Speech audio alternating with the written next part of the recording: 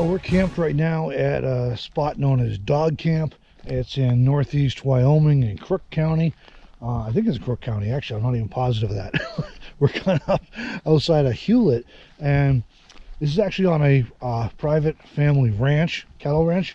They raise uh, Scottish Highlander cattle here, and which is kind of cool. Um, we haven't been able to see them up close yet, but we saw them from a distance yesterday.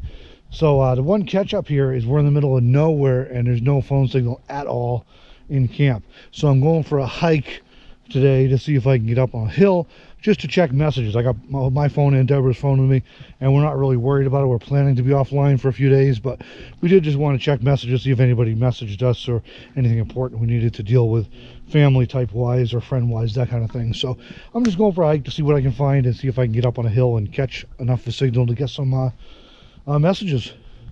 Meanwhile, you can sort of see our camp back there, uh, the van in the distance, and it's just this lovely ponderosa pine forest kind of uh, up in the plains here.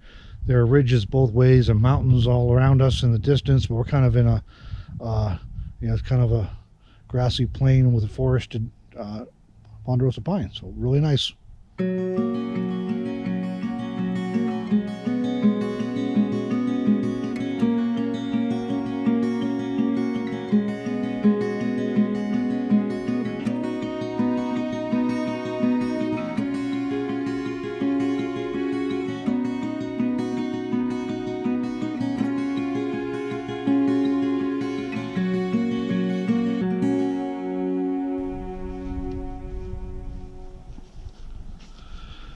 So on my way back from the hill over there to the side, um, I was able to get enough signal to check a few text messages, but it still was hit and miss.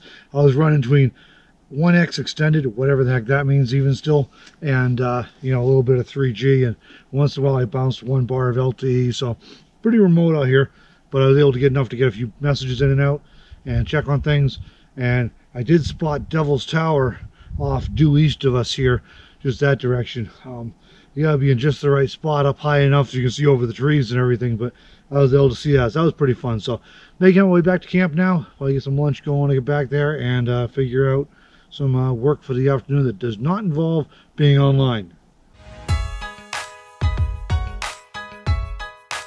Oh making progress. There's a van off there not too far behind me in the forest so almost back to camp